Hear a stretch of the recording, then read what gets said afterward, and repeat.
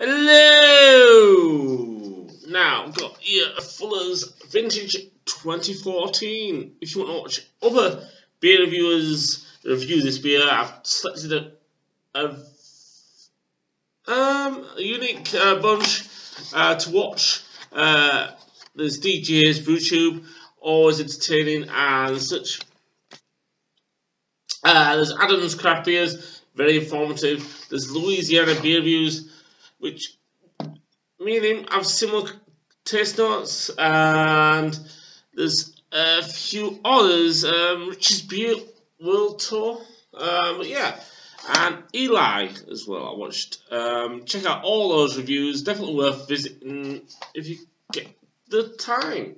Um, I had the 2012, which was a four-year-old bottle. Um, and it was tasting quite nice. Um, when I had it fresh, it was a little different, and you can watch uh, my previous Fuller's Vintage reviews in the description below, along with the reviews that I mentioned before. So let's crack this up. Now this is the 2014 edition. Uh, it's 2016 now. It's two years old. When I had the 2012 just the other week, um, I didn't review it. Um, I basically just I was relaxing, and I, I, it wasn't until I was relaxing and um, talking beer with fellow beer-related friends um, that it was quite expensive. I didn't know. Uh, I just wanted to relax, and um, and open beer from a cellar.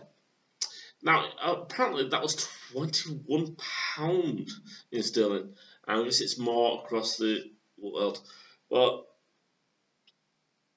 yeah, um, according to um, Rob Dabshire, um, he, when I went for the Ale Trail the other day, um, these bottles can get really expensive. But a beer's only as worth as much as it tastes. But yeah.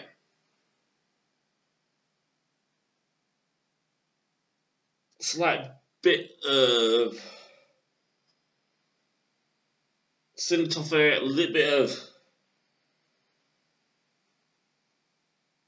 almost like um, warm conflicts, especially when you have uh, pour warm milk over conflicts. Um, but yes, again, like I said, check, check out my fellow beer reviewers um, reviews down below, as well as previous beer reviews as well get a little bit of toffee, a little bit of burnt match, almost like, you know when you strike a patch and you get a little bit of smokiness? Cinnamon toffee, toffee, um, but yeah, burnt caramel. Anyway, cheers.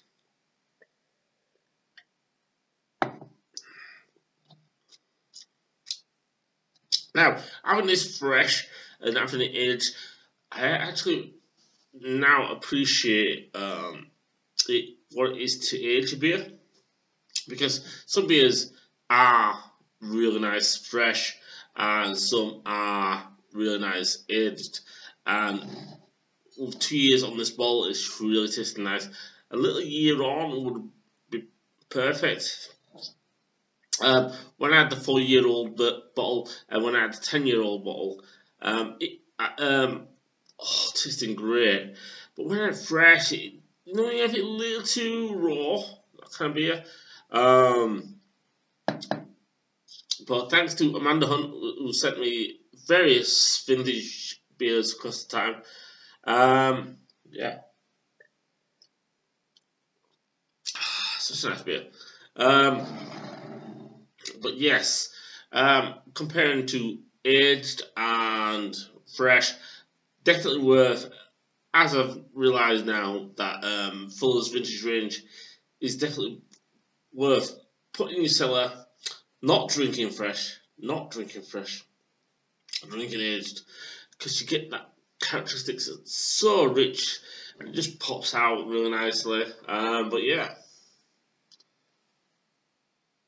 Check out the links below for other beer reviews as well as previous beer reviews from me um, so you can know my palate jumping back and forth. But yes, your beer if it's Fuller's vintage. You take care.